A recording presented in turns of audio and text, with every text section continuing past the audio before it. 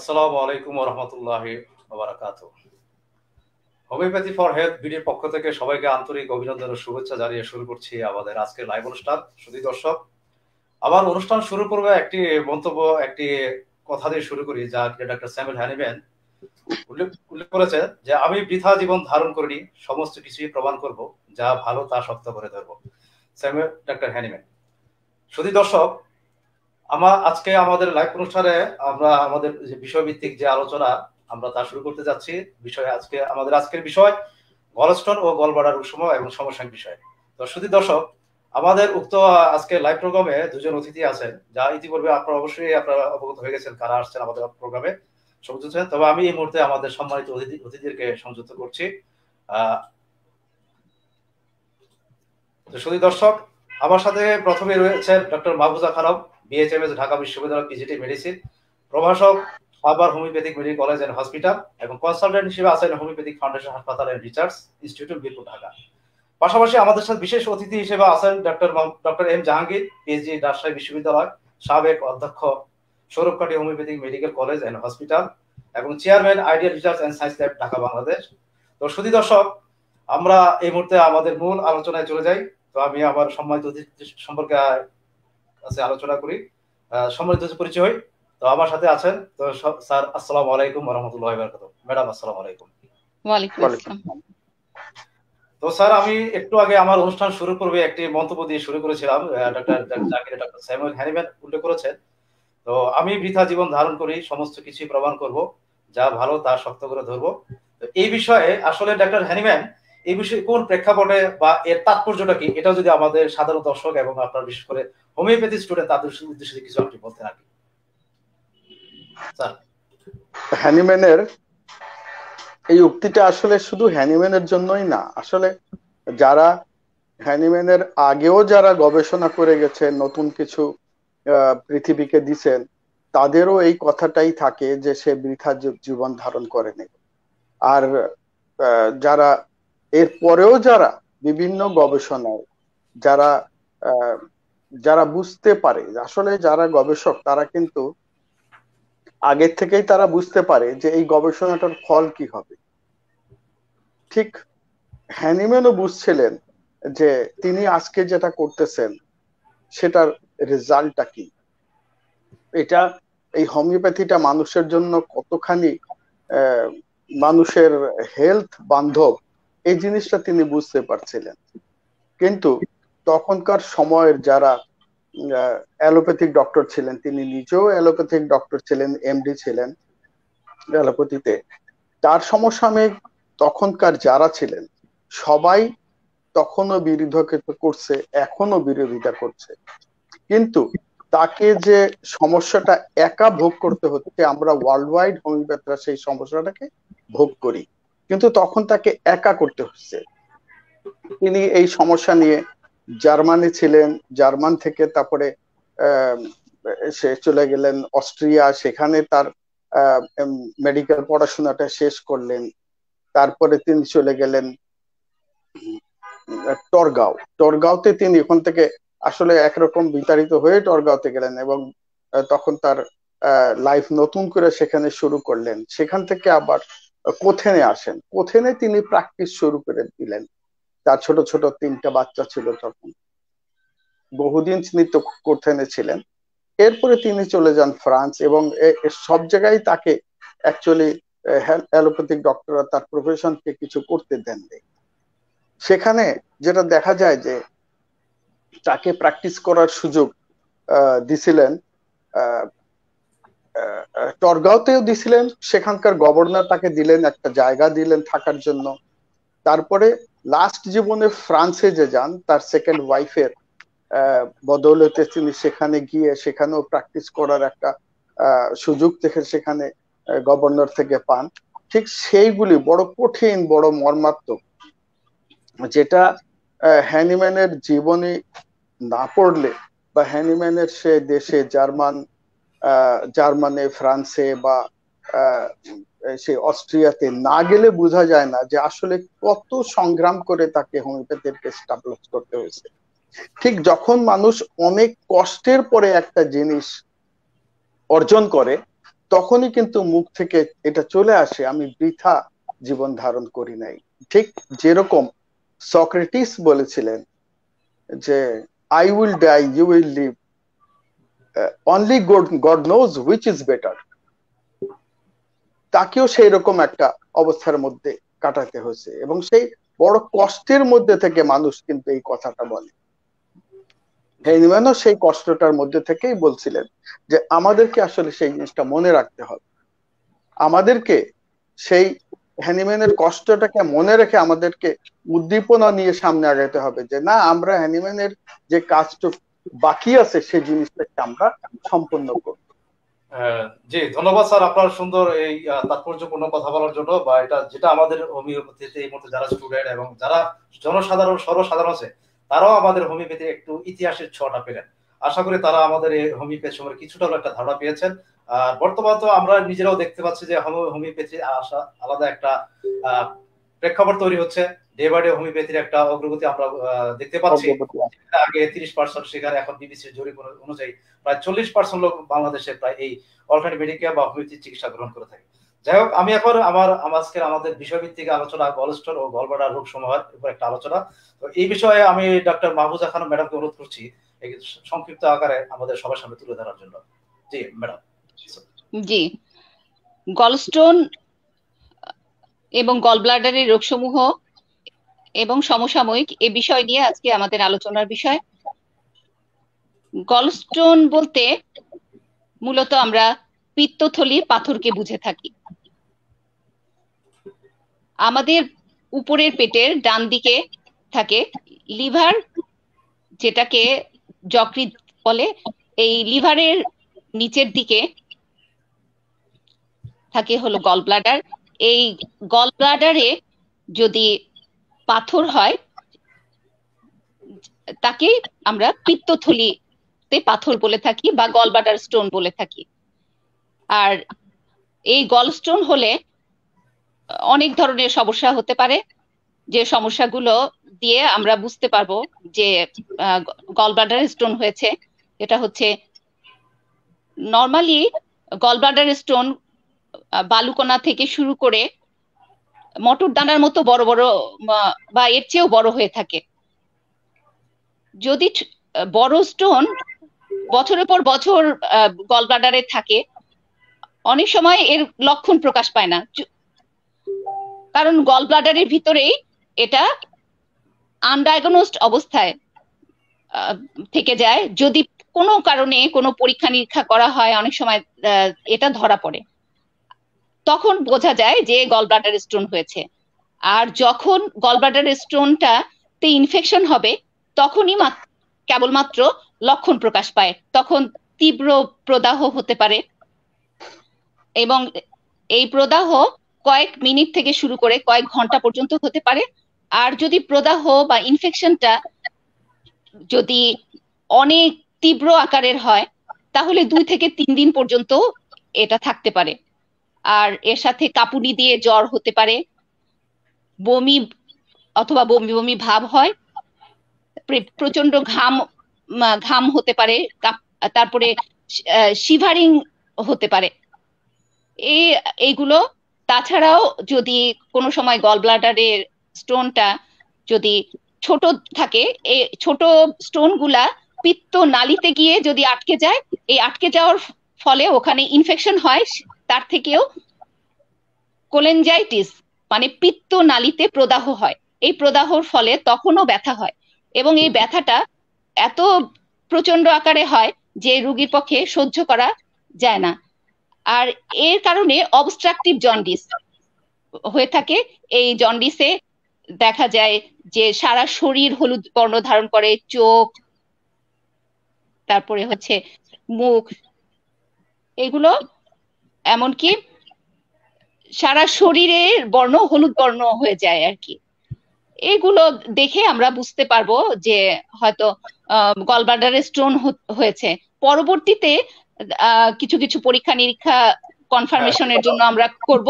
যে পরীক্ষা নিরীক্ষা গুলো করে আমরা নিশ্চিত হব যে গল ব্লাডার স্টোন হয়েছে। জি জি ধন্যবাদ ম্যাডাম। আপনার সংক্ষিপ্ত উপস্থাপনার জন্য। আসলে আমাদের দর্শক যারা আছেন গল ব্লাডার স্টোন বা যে কীভাবে হয় বা তার একটা আপনি সংক্ষিপ্ত ধরা দিয়েছে তো আমি এই বিষয়ে ডক্টর জাহাঙ্গীর স্যার কাছে আসছি এই বিষয়ে, যে যদি আপনি এর সাথে কিছু সংযুক্ত করতেন আমাদের দর্শকদের উদ্দেশ্যে। ডক্টর জাহাঙ্গীর। হ্যাঁ অ্যাকচুয়ালি মাহফুজা ম্যাডাম ভালোই বলছেন যে যতটুকু দরকার, আসলে ঠিক এইগুলো ঠিকই আছে। এই লক্ষণগুলো এরকম দেখা গেলে আমরা বুঝতে পারি যে গল ব্লাডারে স্টোন হচ্ছে বা এটাকে কলিলিথিয়াসিস বলে। তো এইটার কিছু যেটা হলো আমরা ম্যাডাম বলে গেছেন যে এটা কোনো সিমটম দেখা যায় না, পাওয়া যায় না।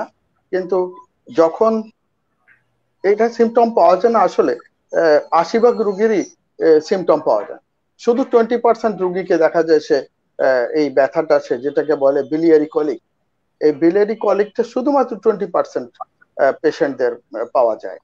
আর বাকি সবাইদেরই সাইলেন্ট গন্টেল গল স্টোন থাকে। এর ভিতরে যদি যখন দেখা যায় আমরা কখন সিমটম বলি অ্যাকচুয়ালি যখন দেখা যায় অ্যাকিউট কলিসিস্টাইসিস হয়, তখনই আমরা সিমটম গুলি পাই। এর ভিতরে বেশিরভাগই দেখা যায় ইনফ্লামেশন যদি হয় বাইল ডাক্ট যদি বন্ধ হয়ে যায় বা ইনফেকশন হয়, ঠিক তখনই আমরা এটাকে অ্যাকিউট কলিসিস্টাইসিস বলি বা এটাকে মেডিকেল ইমার্জেন্সি বলা হয় এই অবস্থাটাকে। এবং সে সময় যেরকম অ্যালোপ্যাথিতে অ্যালোপ্যাথিতে এটাকে অপারেশন করে। আমরা যদি দেখি যে এই ইনফেকশনটা কাভারেজের যোগ্য, আমরা যদি মেডিসিন যেগুলি ইনফেকশনের মেডিসিন আছে, আমাকে তখন গল স্টোন চিন্তা করতে হবে না, আগে কাভারেজ দিতে হবে অ্যাকুইট ম্যানিফেস্টেশনে তখন যদি দেখে যে ইনফেকশনের জন্য হচ্ছে তখন আমাকে ইনফেকশনের মেডিসিন দিয়ে আগে কাভারেজ দিয়ে আনতে হবে। গল ব্লাডের ইনফেকশন হতে পারে। বা অবস্ট্রাকশন যদি হয়ে যায় নালিতে যদি চলে যায়, সেটাকে আমাদেরকে ই করতে হবে। মানে সেটাকে নালি থেকে কীভাবে বের হওয়া যায়? আমাদের হোমিওপ্যাথির একটা সুনাম সেটা অ্যালোপ্যাথিক ডাক্তাররা পর্যন্ত বলেন যে হ্যাঁ কাটা কোথাও গলায় কাটা ঢুকে গেলে বের হয়ে যায়। এই মিরাকালটা কিন্তু এখন পর্যন্ত আমরা হোমিওপ্যাথরাও জানি না যে কেন হয়। অ্যাকচুয়ালি রিসার্চের কাজ অনেক সুন্দর, অনেক কাজ আমাদের হোমিওপ্যাথিতে আছে। ঠিক এই জিনিসটা করতেও যদি পারে কেউ যে হ্যাঁ যে সাইলেশিয়া কীভাবে কাটাটাকে বের করল? What is the cause behind it ঠিক, আমরা এই জিনিসটা যদি হোমিওপ্যাথিতে বের হয়, তাহলে বিরাট একটা মেরাকাল এই জিনিসটা থেকেও দেখা যাবে যে হোমিওপ্যাথিক হোমিওপ্যাথির স্বীকৃতি যেটা সাইন্টিফিক বেজ যেটা চলে আসতে পারে, একটা জিনিস থেকেই। ঠিক এই জিনিসটা কলিসিস্টাইসিসও আছে, যেটা, যে ইনফেকশন হলো বা অবস্ট্রাকশন হলো স্টোনটা ছোট স্টোন অবস্ট্রাকশনে গেল সেই স্টোনটা আমরা ওষুধ দিলাম ও ঠিকই ওই জায়গা থেকে আবার পুনরায় আগের জায়গায় চলে গেল। ঠিক এই জিনিসগুলো কিন্তু আমরা অ্যাকিউট কারণ হিসাবে আমরা পাই।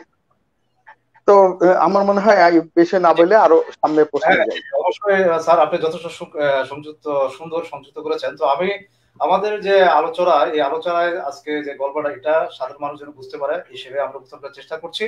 আর এখন আমি একটু ডক্টর মাহবুজার খানম ম্যাডাম কাছে আসতে যাচ্ছি যে কিছু প্রশ্ন নিয়ে। আমার কাছে পূর্ব থেকে কিছু প্রশ্ন চলে আসছে আমার আমাদের মেসেজ বক্সে তো আমি সেখান থেকে কিছু প্রশ্ন উল্লেখ করছি। তো আমি এই মুহূর্তে ডক্টর মাহবুজার খানম ম্যাডামকে প্রশ্ন করছি যে আসলে গলস্টোন আপনি অবশ্য বলে ফেলছেন যে গলস্টোন শুরু হলে কত কত স্থায়ী হয়? এটা অবশ্য আপনি বলে ফেলছেন। তো মূলত গলস্টোনটা অ্যাকচুয়ালি দেখতে কেমন? এটা একজন সাধারণ মানুষ যদি তাকে টেস্ট বা বিনোদ বা আসে বা একজন ডাক্তার কীভাবে এটা নির্ণয় করবেন? দেখতে কেমন গলস্টোনটা? গলস্টোনটা সাধারণত হালকা বাদামি হতে পারে, তারপরে কালচে সাদাটে হতে পারে, অথবা গাঢ় কালো বর্ণেরও হতে পারে। এই ধরনের হতে পারে। আর ছোট বালুকণা থেকে শুরু করে মটর দানার মতো বড় হতে পারে, বা এর চেয়ে বড় শক্ত দানাদার বস্তু হলেই আমরা বুঝতে পারব যে এটা গল ব্লাডারের রসের ভিতরে এটা ভাসমান অবস্থায় থাকে এবং এইগুলো হচ্ছে কোলেস্টেরল পিলিরুবিন এবং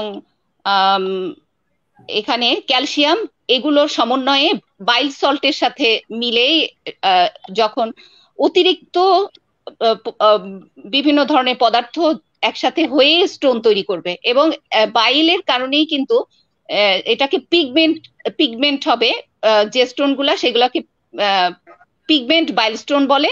আর যে যেগুলো কোলেস্টেরলের সাথে মিলে তৈরি হবে সেগুলো হলো কোলেস্টেরল স্টোন বলে। যে ধন্যবাদ আমি আরেকটি প্রশ্ন আপনার সাথে সংযুক্ত করতে যাচ্ছি যে সেটা হচ্ছে গলস্টোনের মূলত কি পরিমাণ সাইজ হলে এটার সার্জারি প্রয়োজন হয় বা একজন রোগী মনে করবে যে এটা সার্জারি করতে হবে? এর সাইজটা কি? জি এই সাইজটা দুই সেন্টিমিটারের উপরে যদি হয় তাহলে সেক্ষেত্রে আমরা সার্জারির জন্য সাজেশন দিব। আর এই এই কারণে আমরা সাজেশন দিব। অনেক ক্ষেত্রে দেখা যায় আমরা যদি সার্জারির জন্য সাজেশন না দেই পরবর্তীতে এটা ম্যালিগনেন্সির দিকে যেতে পারে। দ্যাট ইজ ক্যান্সার ক্যান্সার হয়ে যেতে পারে গল ব্লাডারে ক্যান্সার হয়ে যেতে পারে। দীর্ঘদিন যদি এখানে গল ব্লাডার স্টোনটা থাকে তাহলে ইনফেকশন হয়ে এখান থেকে, এখানে ঘা সৃষ্টি হয়ে সেখান থেকে ম্যালিগনেন্ট অবস্থা তৈরি হবে এবং cancer of the gall bladder হতে পারে।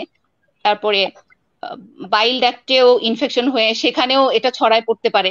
আবার প্যানক্রিয়েটাইটিস হতে পারে ক্যান্সার অব দ্য প্যানক্রিয়াস হতে পারে পেরিটোনাইটিস আরও বিভিন্ন ধরনের সমস্যা তৈরি করতে পারে। এরকম অনেক ধরনের সমস্যা আছে। কোলেনজাইটিস হতে পারে। কোলেনজাইটিস মানে হচ্ছে বাইল ডাক্টের ইনফ্ল্যামেশন হতে পারে এবং এই ইনফ্ল্যামেশনের যে ব্যথাটা, সেটা অসহ্যকর আনবেয়ারেবল পেইন এবং এই পেইন হলে পরে তখন এটা সহ্য করা খুব কঠিন ব্যাপার। এই ক্ষেত্রে তখন নর্মাল আল্ট্রাস অ্যাবডোমিনাল আল্ট্রাসোনোগ্রাম করেও হয়তো দেখা দেখা যায় না যে গলস্টোনগুলা। সেই ক্ষেত্রে হচ্ছে এন্ডোস্কোপিক আল্ট্রাসোনোগ্রাম করা যেতে পারে। সেটাতেও যদি স্পেসিফিক ভাবে ধরা না পড়ে, তাহলে আমরা হলো এমআরসিপি ইআরসিপি e এই টেস্টগুলোর জন্য আমরা রুগীদেরকে যেতে বলব। এই টেস্টগুলোর মাধ্যমে তার যদি বড় ধরনের কোনো সমস্যা হওয়ার সম্ভাবনা থাকে, তাহলে সেগুলো ধরা পড়বে। জি জি জি। ধন্যবাদ ম্যাডাম, আপনাকে অবশ্যই ধন্যবাদ সুন্দর উত্তর দেওয়ার জন্য। আমি এই মুহূর্তে আবার একটু ডক্টর জাহাঙ্গীর স্যারকে আসতে চাচ্ছি। যে স্যার, আমি অর্থাৎ অর্থাৎ আমরা আমাদের হোমিওপ্যাথির অনেক ডাক্তারদের কিছুটা সীমাবদ্ধ সম্পর্কে আমরা জানি যে একজন ডাক্তার কত সীমাবদ্ধতা অবলম্বন করেন। তো তার প্রেক্ষিতে আমি একটু বলতে চাই, তাছাড়া আমরা এটাও জানি যে আমাদের হোমিওপ্যাথি এমন সুন্দর ভালো ভালো ডাক্তার তৈরি হয়েছেন বা আমরা দেখতে পাচ্ছি, বিশেষ করে আপনাদের মতো যারা অভিজ্ঞ ডাক্তার আছেন, আমরা জানি যে আপনারা যথেষ্ট পরিমাণে ইয়ে রাখেন। তো আমি এই ক্ষেত্রে একটা প্রশ্ন করতে চাচ্ছি যে গল বাড়ার পাথর হলে যদি অপারেশনের অপারেশন মাধ্যমে ফিরে দেওয়ার কথা বলা হয় ফেলে দেওয়া হয় অপারেশন ফেলতে বলছে যে কিন্তু সেক্ষেত্রে আমাদের হোমিওপ্যাথিতে যে হোমিও ডাক্তাররা এই গল বাড়ার ক্ষেত্রে কি ভূমিকা পালন করতে পারে? অপারেশনের আগে না পরে? হ্যাঁ এটা অপারেশনের আগে যেহেতু একজন হোমিওপ্যাথি ডাক্তার এটাকে কীভাবে সে নির্ণয় করবে যে গলবাড়া স্টোন বা কোন প্রেক্ষিতে সে একজন পেশেন্টকে অবজার্ভ করতে পারে? হ্যাঁ একটা হলো ফার্স্ট যে জিনিসটা হলো যেটাকে আমরা অ্যাকিউট কোলিসিস্টাইসিস বলি, সেটা সেই অবস্থাটায় যে অ্যাকিউট অবস্থা যেটা, একটা রোগের অ্যাকিউট ম্যানিফেস্টেশন যেগুলি আছে, আমরা যেরকম সিমটোমোলজিক্যালি ট্রিটমেন্টটা দেই, ঠিক সেই সেরকম এই অ্যাকিউট ম্যানিফেস্টেশনটা যাতে চলে যায়, সেই জিনিসগুলোকে আমরা সরাবার জন্য চেষ্টা করব যে সেই অ্যাকিউট ম্যানিফেস্টেশনটা কীভাবে যায়। সাধারণত অ্যাকুট ম্যানিফেস্টেশন গুলি আসে ইনফেকশন থেকে বা ইনফ্লামেশন থেকে এই অ্যাকুট ম্যানিফেস্টেশন গুলি আসে। তো আমরা, যদিও আমরা লক্ষণ দেখি, সেখানেও আমরা দেখব তাই হয়তো সেখানে ইনফেকশন হয়ে গেছে বা ইনফ্লামেশন হয়ে গেছে। যে আমরা রোগীর কাছে শুধু যেটা রোগীর মুখের কথায় যে সিমটমগুলা পাবো, সেটাতে আমরা পাবো যে সে হয়তো বলবে আমার ব্যথা করে, এখানে সেন্সিটিভ টু পাস বা টেন্ডারনেস যেটা আসতেছে। কিন্তু আমাদেরকে ডাক্তার হিসাবে যারা ডাক্তার, তাদেরকে রুগী যখন কথা বলবে, তার কিন্তু একটা ইনার্ট আই থাকতে হবে। সে ভিতরে দেখতে পাবে। রুগীর ভিতরে সে দেখতে পাবে। সে যদি বলে ব্যথা বা যে জিনিসটা লক্ষণের মধ্যে মাহফুজা যেরকম বললেন, যে শীত লাগে। শীত কখন লাগে? যখন ভিতরে ইনফেকশন থাকে, তখনই শীত লাগে, সঙ্গে জ্বর থাকে। জ্বর থাকে ম্যালেজ সঙ্গে আসবে। আমরা যদি বুঝতে পারি যে তার জ্বর আছে, আমাকে বুঝতে হবে তার ভিতরে ইনফেকশন আছে। কোথায় বলল, ডান দিকে, ভিতরে, আমাদের চোখ চলে যাবে সেইখানে। যে হ্যাঁ ভিতরে কোন জায়গাটা এটা হচ্ছে? লিভার ডালনেস পরীক্ষা করলে আমরা বুঝতে পারব যে হ্যাঁ সেখানে লিভার ডালনেসে ভিতরের দিকে চাপ দিলে সে বলবে যে হ্যাঁ এখানে ব্যথা বেশি লাগতেছে। আমরা এই টেস্ট গুলি থেকেও আমরা তখন কনফার্ম হব যে তার অ্যাকুট কোলিসিস্টাইসিস হচ্ছে অ্যাকুটের জন্য একরকম ট্রিটমেন্ট হবে। যেটাকে খুব র্যাপিড বা অ্যাকুইট মেডিসিন দিয়ে করতে হবে। আর কোলিসিস্টাইসিস যে স্টোনটার জন্য স্টোনটার জন্য আসলে আমি যেটা সবসময় দেখি, আসলে রোগটা কত পুরানো। ট্রিটমেন্টের সময়টা কিন্তু সেই অনুযায়ী বেশি লাগে। রোগটা যত, যে রোগী হোক, শুধু গল স্টোন না, যে রোগী হোক, রোগটা যদি অনেক পুরানো হয়, তখন এটা সারতেও সময় নেয়। আর রোগটা যত কম সময়ের হয়, সারতেও অল্প সময় নেয়। তো স্টোনটার সাইজ অনুযায়ী আমরা বুঝতে পারব যে হ্যাঁ কত আগে এই রোগটা তৈরি হয়েছে। আমরা যদি তখন দুইটা ভাবে এটার ই দেখতে পারি, যেটা হলো আগের যে ট্রিটমেন্টটা সেটা হলো যে, তার স্টোনটাকে যদি আমরা গলায় দেই, তাহলে কীভাবে এটা গলাবো? কি মেডিসিন দিলে এটা গল? আবার চয়েস এটাও নিতে পারি যে হ্যাঁ দানাগুলি খুব ছোট। এক, দুই মিলিমিটার বা তিন মিলিমিটার এরকম আছে। তাহলে আমরা এটাকে বের করে দিই। বাইল ডাক থেকে বের হয়ে খাদ্য নালীতে চলে যাবে। সেই অপশনটাও যদি আমরা নেই চলে যেতে পারে। কিন্তু আমি এখানে এই ট্রিটমেন্টের যদি কথা বলি, আগে পরে, সেখানে আমি আর একটা জিনিস বলব, যে আমরা অনেক সময় এই জিনিসগুলিকে খেয়াল করি না। আমরা যেটাকে আমি সত্যিকারেই বলব যে সিঙ্গেল রেমেডি আমাদের হ্যানিম্যান স্যার বলে গেছেন যেটা সিঙ্গেল রেমেডি করার জন্য। কিন্তু অনেক সময় অনেক জটিল কেসে সিঙ্গেল রেমেডি করা সম্ভব হয় না। আমি যদি গল ব্লাডারের বা স্টোনের জন্য যদি আমি চিন্তা করি, তখন এক রকমের মেডিসিন আসবে।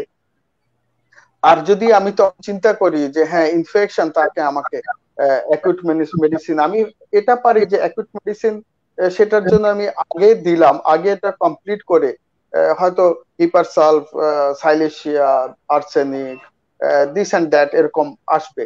সেগুলিকে আমরা দিয়া অ্যাকুট ম্যানিফেস্টেশনটাকে কাভারেজ ফার্স্টে দিলাম। এরপরে আমাকে নিতে হবে স্টোনের জন্য মেডিসিন দিতে হবে। স্টোনের জন্য যদি মেডিসিন নেই সেখানেও আমি বলব কতগুলি প্রতিবন্ধকতা আছে। এখানে কিছু গ্রাউন্ড রেমেডি আছে। এই যে কোনো ট্রিটমেন্টের জন্যই এরকম দরকার হয় গ্রাউন্ড রেমেডি মানে যে রোগটার জন্য সিলেক্টেড যে মেডিসিনগুলো আসে সেইটা। আমাদের এখানে যেরকম ফসফরাস গ্রাফাইটিস ক্যালকিয়া কার্ব এগুলি আসতেছে, এগুলি হলো তার জন্য গ্রাউন্ড রেমেডি আর কিছু আছে ফাংশনাল যেটা হলো ফরমেশন কেন স্টোনটা ফর্ম করছে? আমি ফরমেশনটাকে বন্ধ করি।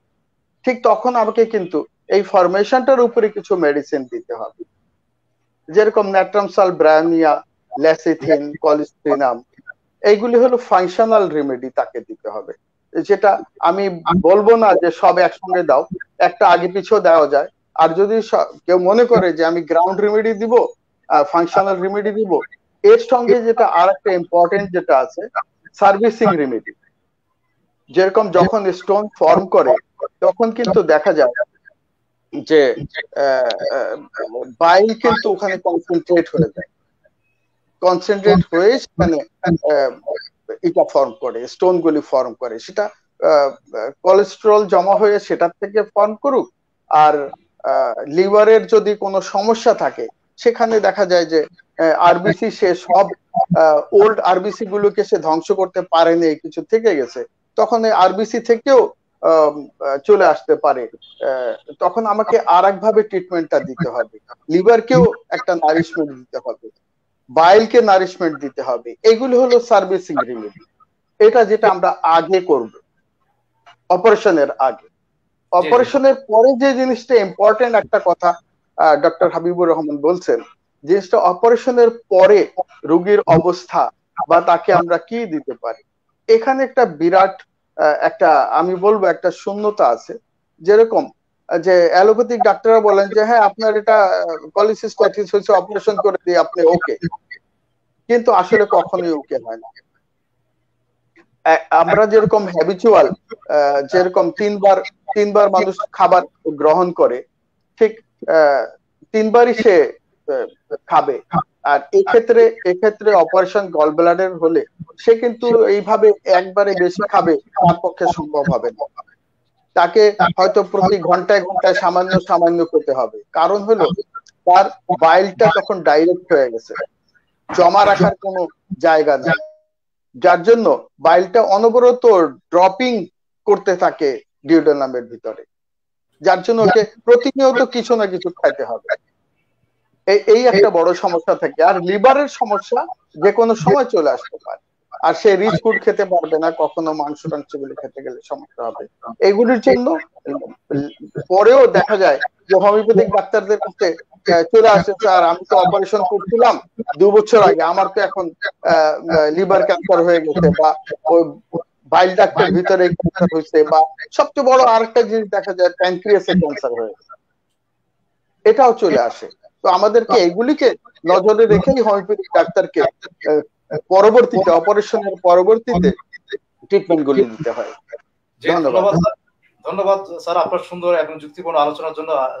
এই মুহূর্তে যারা আমাদের হোমিওপ্যাথ বন্ধুরা আছেন তারা অবশ্যই আপনার আলোচনা থেকে বা আপনি যে ইনফরমেশন দিয়েছেন তারা যথেষ্ট পরিমাণ উপকৃত হবেন। আর আমাদের হোমিওপ্যাথিতে যে সুন্দর যে তাৎপর্যপূর্ণ আলোচনা হয় আমরা এই অনুষ্ঠানের মাধ্যমে আশা করি আমাদের সাধারণ দর্শকরাও জেনে যাচ্ছেন। তো আমি এই মুহূর্তে ডক্টর মাহবুজা খারম ম্যাডামের কাছে আসতে চাচ্ছি একটা প্রশ্ন নিয়ে যে, যদি গল স্টোন এই গল স্টোনের কারণে কি আর কোনো অন্য কোনো রোগের আবির্ভাব ঘটে কিনা?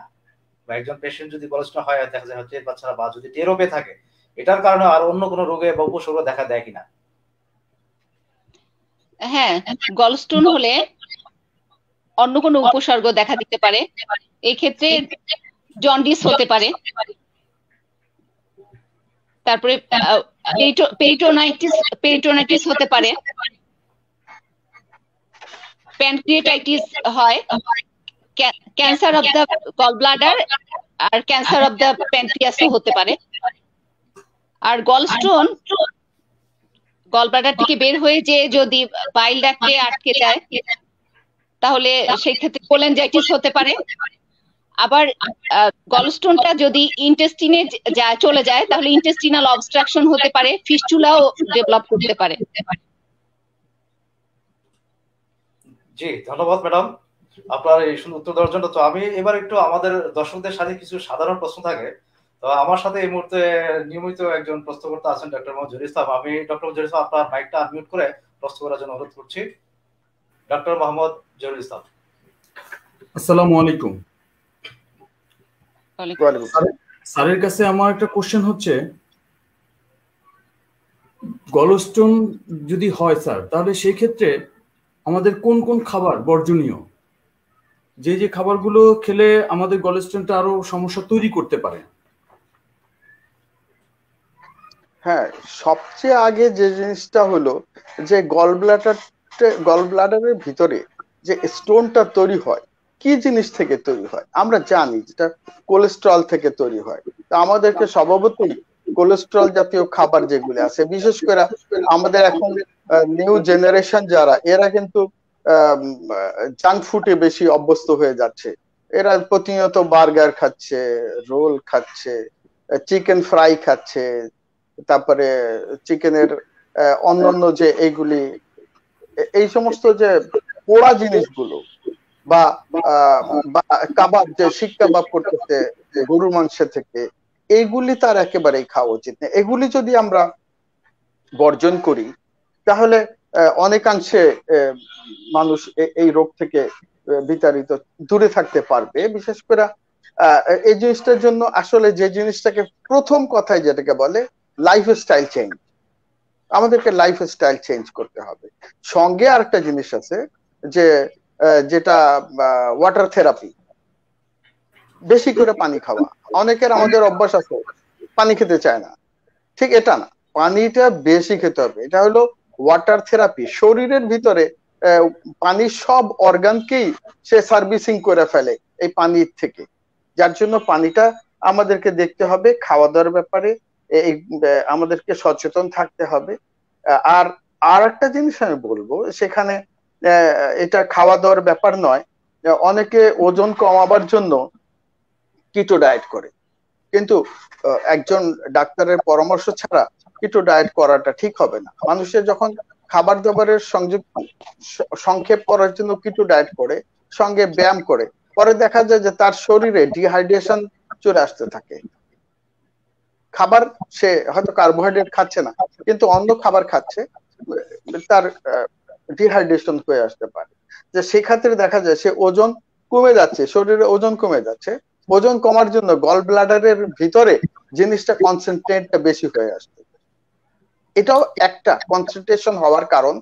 যে কারণের জন্য কোলেস্ট্রল থেকে যে স্টোনটা তৈরি হয়, সেটা তৈরি হওয়ার একটা সুযোগ চলে আসে। জি, ধন্যবাদ।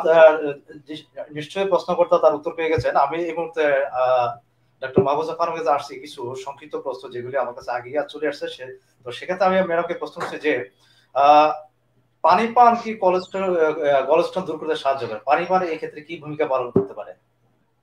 ড্রিঙ্কিং ওয়াটার আসলে পানি পান গলস্টোন দূরীকরণের one of one of the cause কিন্তু মেইনলি পানি পানের মাধ্যমে গলস্টোন বের হয়ে যাওয়ার পসিবিলিটি যে পুরাপুরি থাকে সেটা আমরা বলতে পারি না। এই ক্ষেত্রে পানি পানির পাশাপাশি অন্যান্য স্যার জাহাঙ্গীর স্যার যেটা বললেন যে লাইফস্টাইল চেঞ্জ করতে হবে। ফাস্ট ফুড খাওয়া যাবে না। তেল, চর্বি জাতীয় খাবার এগুলো বর্জন করতে হবে। তারপরে কম ঝাল মশলাযুক্ত খাবার এগুলো খেতে হবে। আর হচ্ছে, অনেকের, অনেকে দেখা যায় যে বার্থ কন্ট্রোল পিল, যেটা জন্ম বিরতিকরণ পিল খায়, সেগুলো পরিহার করতে হবে। অন্য উপায়ে তার বার্থ কন্ট্রোলের চিন্তা ভাবনা করতে হবে। আবার অনেকে দেখা যায় পোস্ট মেনোপজাল হরমোনাল থেরাপি দেয়। এটার কারণেও অনেকের গলব্লাডার স্টোন হয়ে থাকে হ্যাঁ? শুধুমাত্র পানি পানের মাধ্যমেই যে আমরা পুরাপুরি গলস্টোন চলে যাবে, এ কথা আমরা বলব না। আরও অনেক কিছু আছে যেটা যেটা হচ্ছে যে যারা হলো ঘরে বসে অলস জীবনযাপন করে সেডেন্টারি লাইফ লিড করে। তারপরে হচ্ছে মানসিক পরিশ্রম যারা করে, যারা শারীরিক পরিশ্রম কম করে, আবার গর্ভাবস্থায়ও দেখা যায় অনেক ক্ষেত্রে হরমোনের আপগ্রেড হয়, যার কারণেও এই সময়ে হলো গলস্টোন তৈরি হতে পারে। তা এই জন্য আমরা শুধুমাত্র যে পানি পানকে আমরা সাজেস্ট করব না, যে এটাই আপনার গলস্টোন চলে যাবে। এই জিনিসগুলো আমাদের সবসময় মাথায় রাখতে হবে। আর চল্লিশ অর্ধ মহিলাদের সাধারণত গলস্টোন হওয়ার প্রবণতাটা বেশি থাকে। পুরুষদের চেয়ে মহিলাদেরই এই প্রবণতাটা বেশি থাকে। আবার বাচ্চাদেরও দেখা যায়, অনেকের যাদের হেমোলাইটিক অ্যানিমিয়া থাকে, তাদের ওই হেমোলাইটিক অ্যানিমিয়ার কারণে বিলিরুবিনের বিলিরুবিন শরীরে অতিরিক্ত জমা হতে থাকে এবং ওই বিলিরুবিন থেকেই তাদের শরীরে আহ গলস্টোন হওয়ার প্রবণতাটা থাকে। বাচ্চাদের ক্ষেত্রে খুব বেশি না, তবে যাদের হেমোলাইটিক অ্যানিমিয়া থাকে তাদের ক্ষেত্রে গলস্টোন হওয়ার সম্ভাবনাটা বেশি থাকে। তো আমি সাথে আরেকটু সংযুক্ত করছি সেটা হচ্ছে ম্যাডাম গলস্টোন হলে কিছু ছোট ছোট প্রশ্নই আসে আমাদের কাছে। অধিকাংশ রোগীরা জানতে চান যে আসলে এই অবস্থায় এই খাবারগুলি খাওয়া যায়। তার ভিতরে যেমন আছে ডিম খেতে পারবে কিনা অথবা গ্রিন টি কফি এই যে বিষয়গুলি আছে এই যে পানীয়গুলি আছে এগুলি তারা গ্রহণ করতে পারবে পারবে কিনা? এর ক্ষেত্রে কোনো সীমাবদ্ধতা আছে কিনা? আচ্ছা ডিমটা হলো সাদা অংশ, এটা প্রোটিন জাতীয়। আর ডিমের যে কুসুমটা থাকে, এটা ফ্যাট জাতীয়। যেহেতু আমাদের আমরা জানি যে গল ব্লাডার যেটা, সেখানে হলো পিত্ত রস থাকে। এই পিত্ত রসটা হলো খাবার হজম মেইনলি চর্বি জাতীয় খাবার হজমে সহায়তা করে। এই জন্য যে ডিমের কুসুমটা খেলে যদি সমস্যা তৈরি হয়, তাহলে এই ক্ষেত্রে ডিম খেলে ডিমের কুসুমটা বর্জন করতে হবে, আমরা বলব যে ডিমের কুসুমটা পরিহার করতে হবে খাওয়াটা, সাদা অংশ খাওয়া যাবে। আর চা, কফি, এই ধরনের উত্তেজক খাবার যেগুলো আছে এইগুলো অনেক ক্ষেত্রে দেখা যায় যে গলব্লাডারের উপরে এটা কিছুটা প্রভাব ফেলতে পারে উত্তেজনা। এমনি তো ইরিটেটিং অবস্থায় থাকে ইরিটেশন থাকে ইনফেকশন থাকে, তো চা কফি যদি খায়ও, সেই ক্ষেত্রে কম খেতে হবে আর গরমটা না খাওয়াটাই ভালো। ঠান্ডা করে এটা খেতে হবে। গরম জিনিসটা যেখানে দেখা যায় ইনফ্ল্যামেশন বা ইনফেকশন থাকে, ওই জায়গাটা তো এমনিতেই র থাকবে। এই র অবস্থায় যদি গরম জাতীয় খাবার খাওয়া হয়, তাহলে দেখা যায় ওই জায়গাটা আরও পুড়ে যাওয়ার সম্ভাবনা থাকে, ওই জায়গাটার সেলগুলা আরও ডিস্ট্রয় হয়ে যাওয়ার ডিস্ট্রাকশন হওয়ার সম্ভাবনা থাকে। এই জন্য চা কফি যদি খায়ও, সেটা পরিমিত পরিমাণে খেতে হবে এবং গরম অবস্থায় না খাওয়াটাই ভালো। নর্মাল করে নিয়ে বা হালকা গরম অবস্থায় খেতে হবে। জি, ধন্যবাদ ম্যাডাম। আপনি আসলে ছোট ছোট বিষয়গুলি অনেক সময় আমাদের অনেকে সাধারণ দর্শক জানতে চান, তো তার প্রেক্ষিতে প্রশ্নগুলি করা। তো আমি এই মুহূর্তে আমার আলোচনার যে বিষয়ভিত্তিক আলোচনার পাশাপাশি আরেকটি বিষয় আছে, সেটা সমসাময়িক। আমরা সেই বিষয়ে যেতে চাচ্ছি। তো আমি, এই মুহূর্তে আমি ডক্টর জাহাঙ্গীর স্যার, জাহাঙ্গীর স্যারের সাথে যাওয়ার আগে একটি প্রশ্ন আমাদের শ্রদ্ধেয় Uttara principal doctor Abdul Alim sir করেছেন, আমি স্যারের সঙ্গে উপস্থাপন করছি। What are the dependent medicine in homeopathy তো এটা এই বিষয়ে ডক্টর জাহাঙ্গীর স্যারকে অনুরোধ করছি কিছু বলার জন্য। ধন্যবাদ ডক্টর আব্দুল আলিম স্যার। হ্যাঁ ডিপেন্ডেবল মেডিসিন বলতে আমি বুঝতে পারি নাই, ঠিক এখন পর্যন্ত কোন জিনিসের উপরে ডিপেন্ডেবল মেডিসিন যে আমরা কোন মেডিসিনগুলোর উপরে ডিপেন্ড করব? মানে এর জন্য মানে গলস্টোনের জন্য। নাকি আমি ঠিক ই করি নাই ক্লিয়ার না যদি আমি মনে করি হ্যাঁ গলস্টোন যেহেতু আজকে আমার আলোচ্য বিষয়ে গলস্টোন যদি গলস্টোনের জন্য বলি একেবারে ডিপেন্ডেবল বললে কিন্তু এটা জাস্ট একেবারে হোমিওপ্যাথিক হবে না। তবে যেহেতু আমরা সিমটমের উপরে নির্ভর করেই আগাইতে হবে দেখা যাচ্ছে যে হ্যাঁ এখানে ক্যালক্রিয়া কার্ভ চলে আসছে। যদিও দেখা যায় যে রেপার্টরিতে হয়তো ক্যালক্রিয়া কার্ভ বলবে না। তারপরে অনেক সময় লাইকোপোডিয়াম চলে আসতে পারে। অনেক সময় দেখা যায় যে সিমটমে আর একটা ব্যাপার থাকে, আমি যেটাকে আরেকটু এই ডক্টর আলিম প্রিন্সিপাল উত্তরা কলেজে তিনি একটা তার এইটাকে সূত্র ধরে আমি এটা বলি যে যে জিনিসটা হলো মায়াজম। মায়াজমের উপরে যদি আমরা এটা উপরে দেখি, তাহলে কিন্তু ডিপেন্ডেবল মেডিসিন আমাদের এটার অনেকগুলি মায়াজমের উপরে মায়াজম উপরেই এটার উপরে চলে আসবে। যেরকম আমি ফার্স্টে বলব যেটা হলো আমাদের এই রোগটা অ্যাকিউট মায়াজম।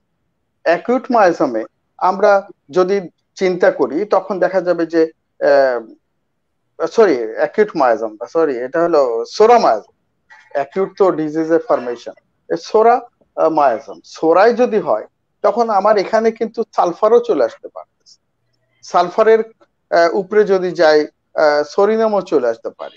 কিন্তু দেখা যাচ্ছে শুধু যে একরকম কনস্টিটিউশনের রোগীদের এই রোগটা হবে তা না।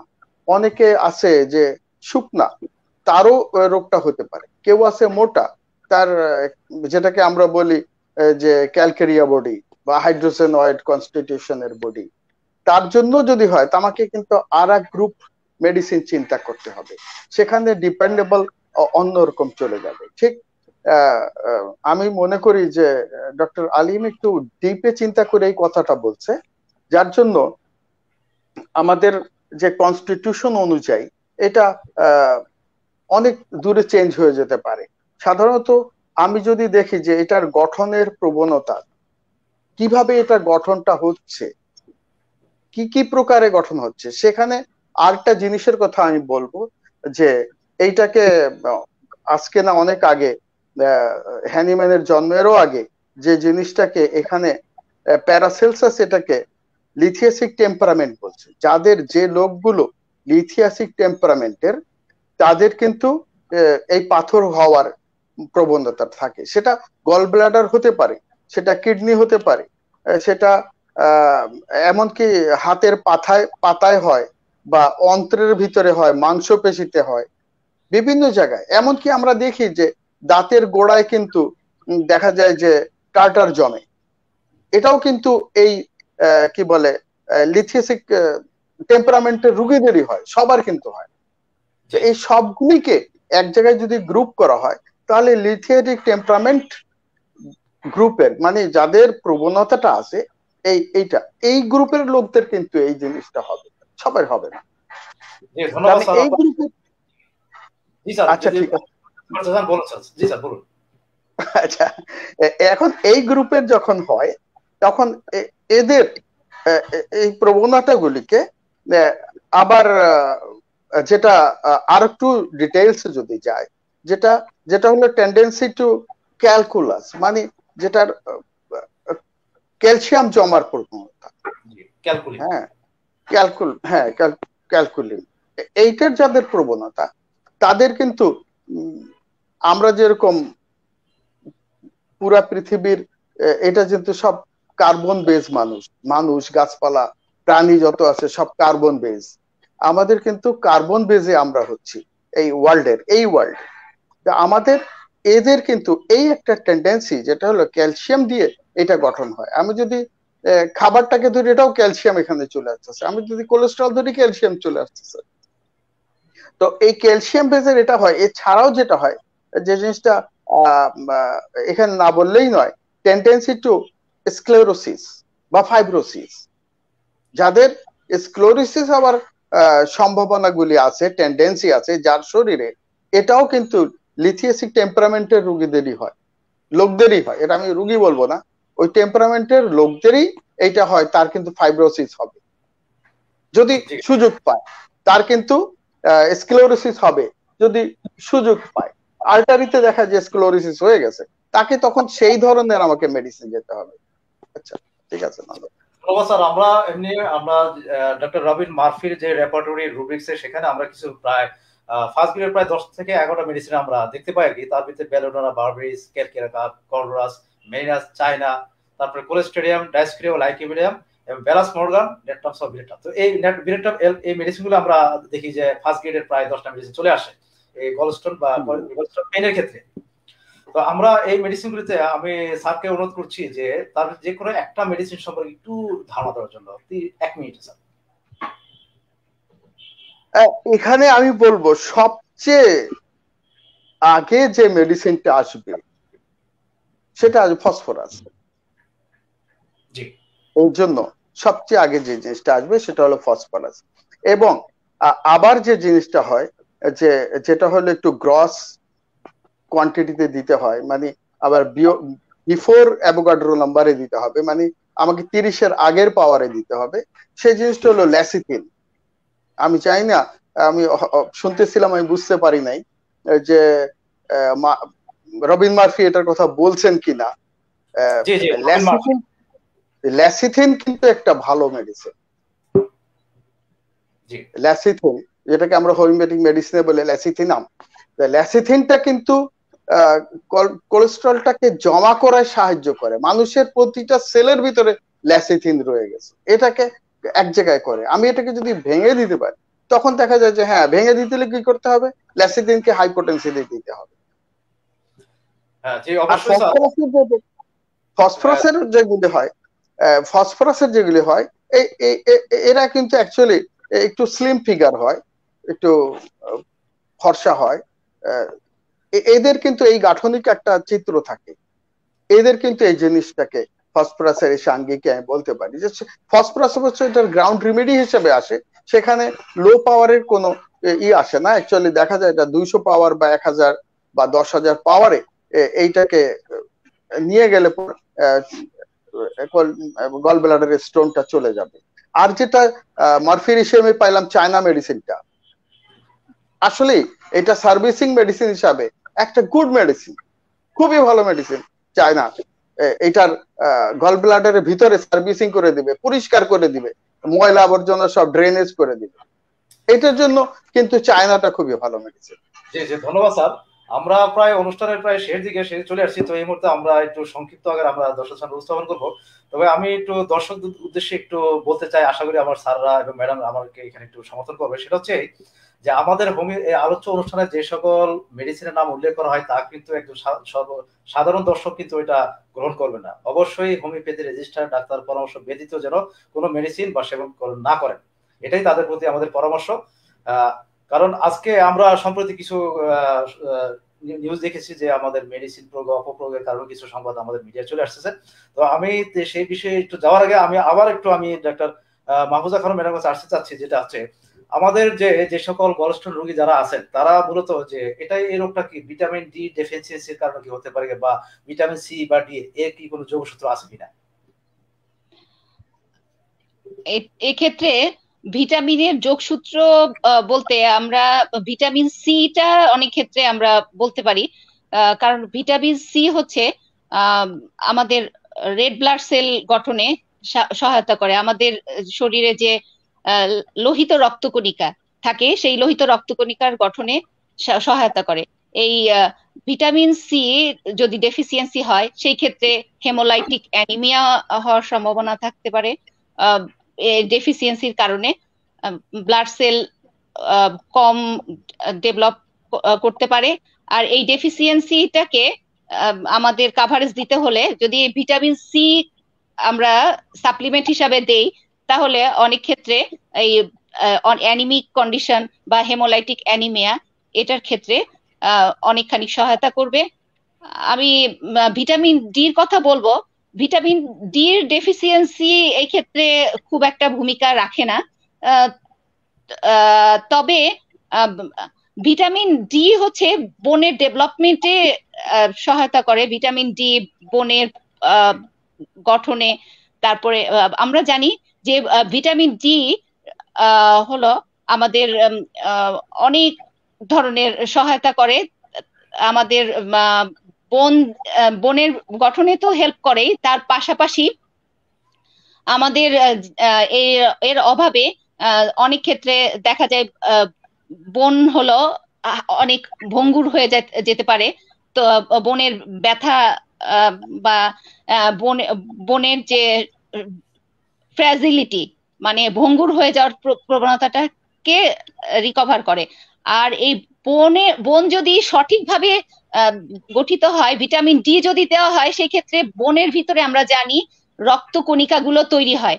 এই এই ক্ষেত্রে আমি মনে করি যে ভিটামিন ডি দিলে রক্ত কণিকাগুলো যদি ঠিক মতো ডেভেলপ হতে পারে, বনটা হলো মজবুত থাকে, তাহলেও এই ক্ষেত্রেও হেমোলাইটিক অ্যানিমিয়া বা রক্ত, ব্লাড সেল ভেঙে আরবিসি ভেঙে, বা কম তৈরি হওয়ার ফলে যে বিলিরুবিনটা ব্লাডে চলে এসে যে স্টোনটা গল স্টোনটা তৈরি হওয়ার সম্ভাবনা থাকে সেটা অনেক ক্ষেত্রে কমে যেতে পারে।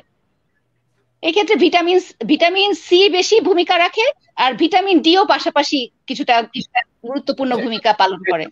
ধন্যবাদ ম্যাডামকে আমি আরেকটি বিষয়ে আসতে আসতে এখন যেটা চাই। আপনার আমাদের সমস্যা কিছু প্রেক্ষাপটে যে আমি ডাক্তার জাহাঙ্গীর হোসেন স্যারকে একটু অনুরোধ করছি একটা বিষয় বলার জন্য যে আমরা সম্প্রতি কিন্তু আপনারা একটা খেয়াল করেছেন যে বিভিন্ন আমি জায়গার নাম বা বিষয় উল্লেখ করলাম না, যে আমাদের হোমিওপ্যাথি মেডিসিনের কিছু অপপ্রয়োগের কারণে কিছু কিছু জায়গায় একটু একটু দুর্নাম হচ্ছে।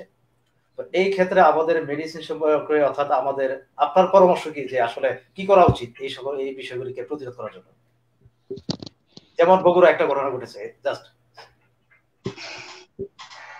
আসলে আমাদের হোমিওপ্যাথিতে কিছু আমাদের ওষুধ যেরকম প্রয়োজন, ঠিক সেরকম হোমিওপ্যাথিক ওষুধ তৈরির জন্য অ্যালকোহলও সেরকম তো, ইথাইল অ্যালকোহলটা সেরকম প্রয়োজনীয় একটা জিনিস। তবে আমাদেরকে যে জিনিসটা সব যখন আমরা যখন একজন ডাক্তার হয়ে বের হই, তখন কিন্তু আমাদের মাথায় এটা রাখতে হবে।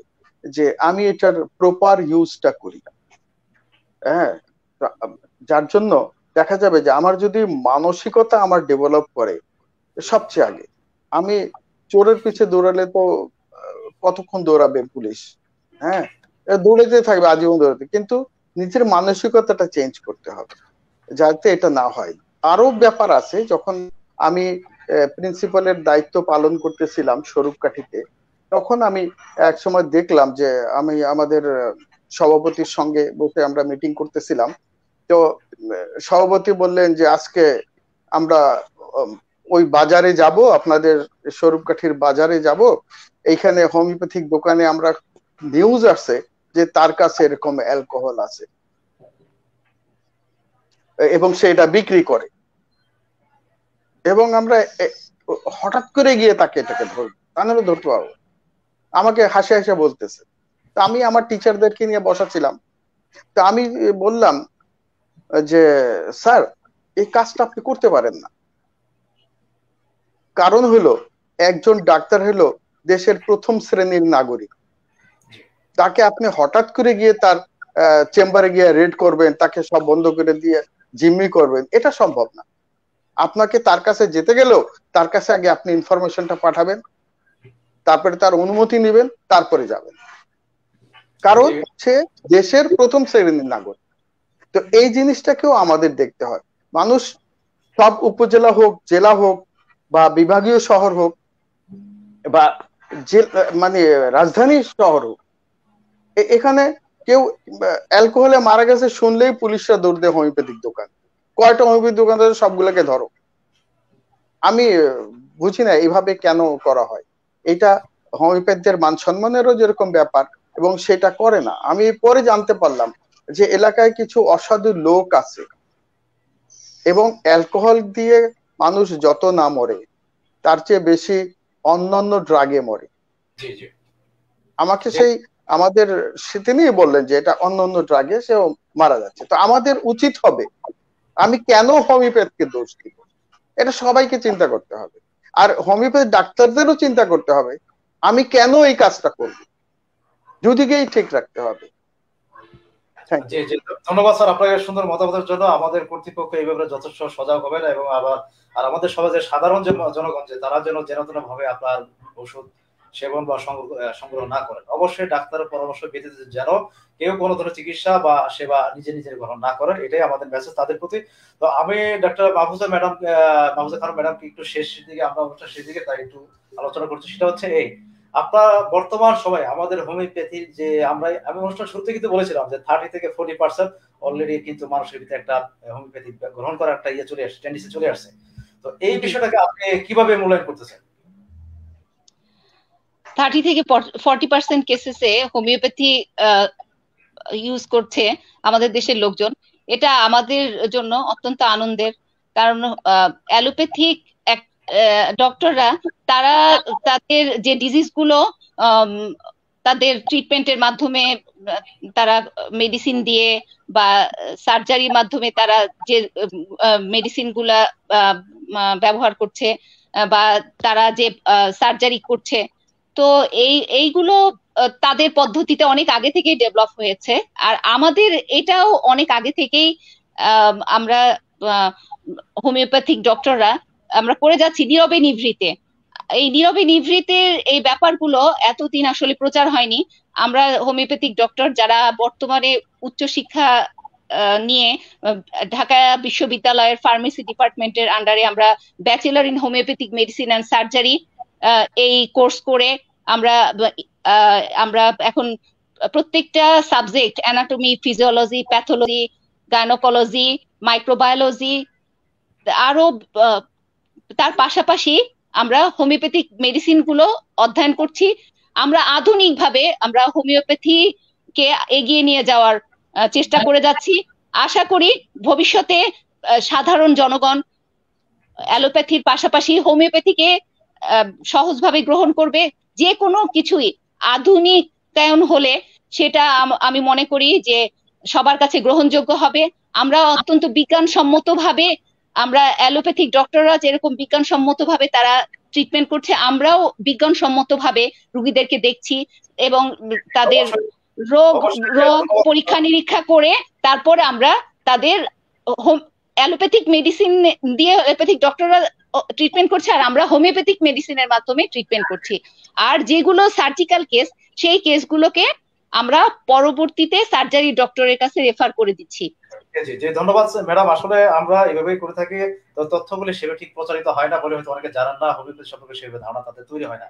তো আমরা চেষ্টা করছি আমাদের প্রোগ্রামের মাধ্যমে এই তথ্যগুলি তাদেরকে পৌঁছে দেওয়ার জন্য। আশা করি আমাদের যে সাধারণ দর্শক আছেন তারা এই তথ্যগুলি পেয়ে তাদের যে কনসেপ্ট আছে, একটু ক্লিয়ার হবে। তো আমি আমার আলোচনার শেষ দিকে আমি শেষ মুহূর্তে আমি ডক্টর জাহাঙ্গীর স্যার কাছে আসতে যাচ্ছি যে, সম্প্রতি আমাদের বাংলাদেশ হোমিওপ্যাথিক বোর্ড এবং স্বাস্থ্য মন্ত্রণালয় দুইটার সমন্বিত ভাবে কিছু কার্যক্রম করেছে যে, আমাদের ডিএচএমএস এবং বিএচএমএস যে সকল ডাক্তারগণ আছে, তাদের একটু উচ্চতর ডিগ্রি একটি সম্প্রতি কিছু প্রজ্ঞাপন বা চিঠি আগে জারি হয়েছে। তো এই যে কার্যক্রমটা, এটার ক্ষেত্রে আপনার প্রতিক্রিয়াটা কি একটু জানতে চাই ডক্টর জাহাঙ্গীর হোসেন হ্যাঁ এটা এখন সময় উপযোগী একটা বিষয় বাংলাদেশের জন্য এবং সরকারও এদিকে বেশ অগ্রণী ভূমিকা পালন করতেছে। বিশেষ করে যে শিক্ষা হেলথ শিক্ষা মানে স্বাস্থ্য শিক্ষার দিকে যে একটা ডিপার্টমেন্ট ডিপার্টমেন্ট না, একটা ডিজিতে একটা আলাদা ডিপার্টমেন্টই আছে, যে নতুন করা হয়েছে। যে, এবং এটার গতকালকেই একটা মিটিং ছিল। ফার্স্ট মিটিং প্রথম মিটিং যেখানে শিক্ষা নিয়ে মেডিকেলের স্বাস্থ্য বিষয়ে যে শিক্ষাগুলি এরা এখানে চিহ্নিত করবে যে কোন কোন শিক্ষা প্রয়োজন। সেই সেইটার প্রথম পদক্ষেপেই কিন্তু হোমিওপ্যাথির যেটা পোস্ট গ্রাজুয়েট শিক্ষা বা ডিপ্লোমা থেকে যারা আসতে পারে এই শিক্ষা নিয়ে আলোচনা এবং এখানে এখানে ডিজির বিভিন্ন ডিরেক্টররা ছিলেন তারপরে আমাদের দুই কলেজের প্রিন্সিপাল ছিলেন। তাছাড়া আমাদের বোর্ডের চেয়ারম্যান দিলীপ কুমার রায় ছিলেন। আমাদের বোর্ডের রেজিস্ট্রার আমাদের dynamic registrar doctor Jahangir Alam ছিলেন। তো কালকে এই মিটিংটা, যদিও এর আগে আমার সঙ্গে, এদের সবার সঙ্গেই আলোচনা হয়েছে। বিশেষ করে আমাদের যেটা খুব ভ্যালুয়েবল যেটা হলো যে ফার্মেসি ডিপার্টমেন্টের যে ডিন, তিনিও আমার সঙ্গে এ বিষয়ে আলাপ করছেন পরশু দিন যে আমরা এটা কীভাবে হোমিওপ্যাথিক এই এগুলোকে ইনক্লুড করতে পারি, আমরা কীভাবে এটাকে আগায় নিয়ে আসতে পারি? তিনি আমার সঙ্গে, আমার মোবাইলে কথা বলছেন, কিন্তু অনেক সময়, প্রায় এক ঘণ্টার উপরে এই নিয়ে কথা বলছেন। তো তাকে আমি চেষ্টা করছি বোঝানোর জন্য, যে এইটা আমরা নিব, কিন্তু কীভাবে নিব? এই জিনিসগুলি খুব সেন্সিটিভ বিষয়। যে জিনিসটা হলো যে আমরা যদি এখান থেকে যদি ব্যক্তি স্বার্থের দিকে কখনো চিন্তা করি, তাহলে কিন্তু আমরা পিছায় আমাদের সবাইকে, যারা বিশেষ করে হোমিওপ্যাথির যারা কর্ণধার যারা আছেন, যারা এই বিষয় নিয়ে অগ্রণী ভূমিকা পালন করেন, তাদেরও উচিত হবে যে আমরা যেন সবকিছুর ঊর্ধ্বে হোমিওপ্যাথিকে দেখে আমরা এই জিনিসগুলো নিয়ে চিন্তা করি এবং সেইভাবে আমরা একটা প্রস্তাবনা নেই। হুট করে মিটিং এর মধ্যে একটা প্রস্তাব দিয়ে বসলাম, এ কাজটা যেন না হয়। আমরা একটা যৌক্তিক ভালো মন্দ বিচার করে তারপরে যেন আমরা এটা নিয়ে আগাই। এইভাবেই আশা করি যে আমি কিছু গাইডলাইনও আছে আমাদের সামনে বিভিন্ন দেশে এ নিয়ে পোস্ট গ্রাজুয়েশন কোর্সও আছে। এগুলিকে হাতে নেওয়ার জন্য আমি বলছি তাদের কাছে। এগুলি নিতে পারে। আর ডিপ্লোমার ব্যাপারটা যেটা হলো একটা সুরাহা এটা অত্যন্ত জরুরি একটা বিষয়। যারা ডিপ্লোমা করে বাংলাদেশে লক্ষ লক্ষ ডাক্তার আছেন হোমিওপ্যাথিক ডাক্তার যারা যাদের ভবিষ্যৎ একটা সবসময় বিভিন্ন কারণে তাদেরকে হ্যারাসমেন্টটা করতে হয়। হোমিওপ্যাথিক বোর্ডের রেজিস্টার চেয়ারম্যান তারা কিন্তু এই জিনিস নিয়ে অনেক চিন্তা ভাবনা করেন, সবসময় মিটিং এগুলি নিয়ে আলোচনা হয়। কিন্তু একটা ভিতরে যে একটা গ্যাপ আগের থেকে সৃষ্টি হয়ে গেছে কোর্সটার প্রস্তুতিকাল থেকে যে গ্যাপটা সৃষ্টি হয়েছে, যে জিনিসটা আমরা আগে কখনো খেয়াল করিনি। সেই গ্যাপটাকে পূরণ করাটা আসলে একটা টাফ বিষয়। আর একটা জিনিস হলো যে এটা টাফ তখনই হয় যখন আমরা এটা মানতে রাজি হই না। এটা মানবে না কে? মিনিস্ট্রি মানতে চাবে না। বলবে অন্য এক্সাম্পল দেন, এটা দেন, তখন এটা হয়। এবং এটা, আর সবচেয়ে সোজা সুরাহা করলেও কিন্তু হয়ে যায় যে হ্যাঁ আমরা, ঠিক আছে, আমরা দিলাম। এটা এভাবে হোক। এটাও যদি করে, তাহলে কিন্তু হয়ে যায়। এখন মিনিস্ট্রি সরাসরি করার জায়গায় যখন ডিজিতে হেলথ এডুকেশন একটা আলাদা উইং চলে আসছে, এই উইং যদি চেষ্টা করে বা বলে যে হ্যাঁ আমরা ডিপ্লোমাকে হার কোর্সের জন্য আমরা এটা কোর্স দিলাম, তারা ইকুইভ্যালেন্ট ডিগ্রি হয়ে গেল। সম্ভব, এটা অসম্ভব বলতে কিছুই নাই। ধন্যবাদ স্যার। আশা করি আমাদের কর্তৃপক্ষ বা যারা আছেন হোমিওপ্যাথি বোর্ড এবং স্বাস্থ্য মন্ত্রণালয়, তারা আপনার এই মেসেজ থেকে আপনার আশা কিছু পেয়ে থাকবেন। তারা ইনশাল্লাহ পাবেন। আর পাশাপাশি আমরা চেষ্টা করছি যে তারা তারা এই বিষয়টি জানো তো স্যার, আমরা আসলে মূলত আর বেশি এগোতে পারছি না, কারণ আমাদের অনুষ্ঠান আজকে একদম শেষ পর্যায়ে। আমরা আর চলে আসছি।